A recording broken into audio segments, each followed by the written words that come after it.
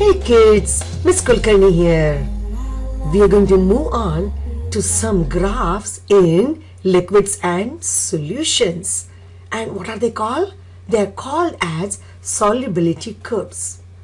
Now, these are two different solubility curves. One is strictly for solids dissolved in liquid and the other is gases dissolved in liquid. And they are different in some ways. But what is common? X and Y axis. Along the X axis, they both have increasing amount of temperature. And along the y-axis we have the amount which is dissolved of solute in 100 grams of water. So this is always grams of solute per 100 grams of solvent. Now look carefully about the shape of both the graphs. In case of gases, if you look at the graph, the graphs are sloping upward as we increase the temperature, graphs are mostly sloping upward. Whereas in case of gases, the graphs go downward, so the slope is downward. That's the visual expression. Well, what does actually it means? If you have to find out, we can take each point on the graph. And what we did here was we selected some temperature 20, 40 and 60.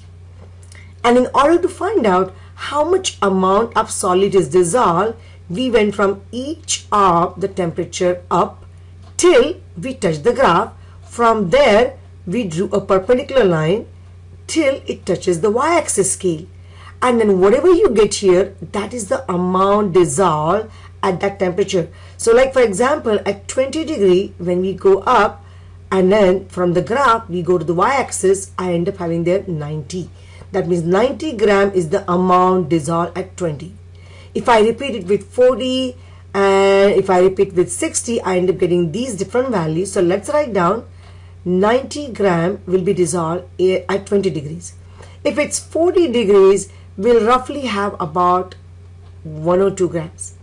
And if we have 60 gram, we'll roughly have 123 grams. Each one is dissolved in 100 grams of water. That part is going to be same. So what is increasing? It is the amount of solid which is increasing. So you got it right. In case of solids dissolved in liquid, as the temperature increases, the amount of solute dissolved in 100 grams of solvent water also increases. Let's do similar thing for the gases and I'm just selecting one of the gas CO and from 10, 20 and 30 if I want to find out how much is present I go all the way up till it touches the graph and then I go across till it touches the y-axis. So at 10 degree we are getting 1.2 grams. At 20 degree if you follow the lines it will be 1.0 grams and at 30 degrees if we go that will be roughly about 0.9 grams. So what are we trying to find out with this? All of this is dissolved in 100 grams of water. If you look carefully, the amount of solute is decreasing. So in case of gases, the amount decreases. In case of solids, it will be increasing. This is how to use solubility curves and decide in short time whether the substance is unsaturated or saturated or supersaturated. For that, we should remember to find the point which corresponds to temperature and the amount. If the point is below the line, it is always unsaturated. If the point is above the line, it is always supersaturated. And if the point is on the line, it is saturated. So let's get a graph and suppose if this is what the graph looks like. And let's see maybe we have some points. Your first point comes suppose over here. Second point is coming over here and the third point is coming at the graph. And if I write those points as A, B and C point A is below the graph if it's below the line that will be unsaturated. So you can put that as unsaturated. If it's above the line like this point C here what will happen? It is supersaturated. So you can say supersaturated. And then if it is on the line like point B here it will be saturated. So you kind of got the point. If you know the location we can easily figure out what is the state of saturation if you look at this figure this is the example of solubility curves for several solids and we have to answer a couple of questions using the graphs. We have to actually find out the degree of saturation for each substance.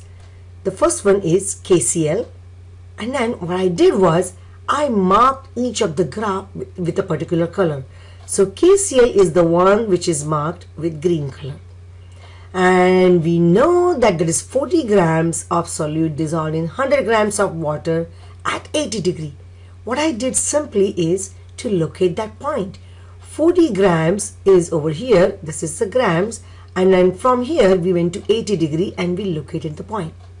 The point is below the line. So if it is below the line then what does it mean? It means it is unsaturated. Let's look at the next one. For KNO3, I highlighted that with the yellow graph here. And then we have 120 grams dissolved in 100 grams at 60 degree. So we went from 60 degree all the way up, 120 degree over here and we got point somewhere over here. This point is above the yellow line and if it is above, what does it mean? that means it is super saturated. Let's look at the third example. We have sodium nitrate which is kind of with this purple line which I have. We have 80 grams dissolved in 100 grams at 10 degree. Same old stuff. We went from 10 degree and 80 degree and we located the point. And bingo! What happened? The point is actually on the line. If it is exactly on the line, that means solution is saturated. This is one more example of solubility curves. You need to find out which curve you are looking for. Like in this example, we are looking for potassium nitrate. So I highlighted the one with the green. So I know that's the potassium nitrate. Now always be careful to find out how much is the amount of solvent and it's 100 grams here. Because remember our y-axis is always out of 100 grams. If suppose something else is given you have to make sure to convert that to 100 gram. So this is fine 100 grams of solvent and the temperature is 50 degree. What do we do? If you have to find out amount of solute we simply go with 50 degrees beginning temperature and we go all the way up till the line touches the graph. And after it touches the graph we go across till it reaches y-axis. And that is the exact amount of solid which we need and what we're getting here that is 80 grams. And remember that 80 gram is in 100 grams of solvent. So look at the next question. It's asking you how many grams of potassium nitrate will dissolve in 300 grams of water. We have same temperature. This is we something solve using simple ratio. So if we have 80 grams that's dissolved in 100 grams. So how much will be dissolved in 300 grams? And if we actually find out the ratio proportion we can easily figure out x will be in this case 80 times 3 which is going to be 240 grams. Okay, let's move on. Next one is if 100 grams of water containing saturated potassium nitrate at 50 degree is cooled to 10 degree, how many grams will it precipitate up?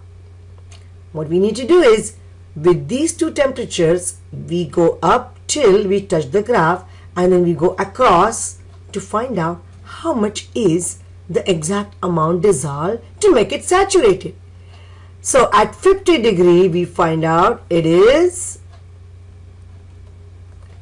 80 grams and at 10 degrees we find out that is 20 gram. So if you cool, if you go from 50 degrees to 10 degrees, what's going to happen? From 80 gram is going to drop down to 20 gram. So what happens to the extra amount? It's going to precipitate out and that is how much? 80 minus 20. So 60 gram is the one which will precipitate out. So what do you all think? Interpreting solubility curves is not that difficult, right? Alright, well I hope you enjoyed the video. I will see you again in next video. Until then, bye bye.